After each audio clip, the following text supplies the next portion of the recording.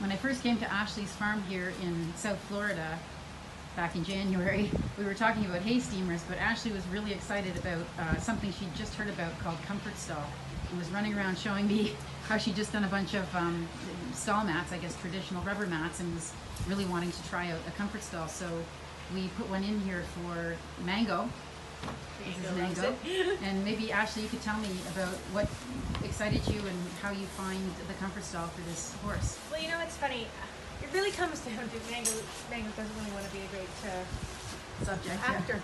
Anyways, um, what it really comes down to is I suffer from um, insomnia if I have a bad mattress. So I ended up getting this one mattress, and it has made a huge difference in my life. A huge difference. If I sleep on my bed, my back never hurts. If I sleep on anyone else's bed, I wake up in the morning, my back kills me. So it started to make me think.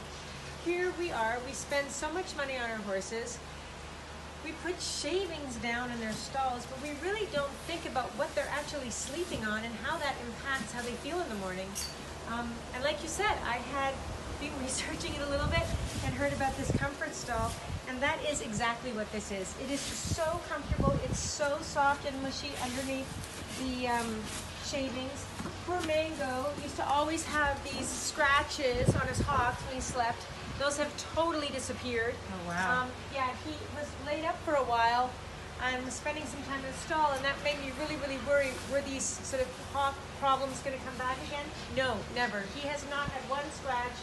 Um, he comes out every morning, uh, raring to go. Sometimes, as you can see, He he's like really ready raring right to go. he, he wants me to take him out. This is the time of the evening I normally take him out for a little bit of grass. So he's like, okay, let's go. Um, but no, it's really made a huge difference in his life, and and uh, I cannot recommend it more. Especially if you have a horse that suffers from those hock sores, and you just no matter how many shavings bags you put in there, you cannot get it fixed. Uh, this will disappear. It will disappear. Literally has disappeared. So Wow. when it comes to comfort for my horses, I I really do try to go that extra mile, and um, this is going the extra mile. They love it. Great.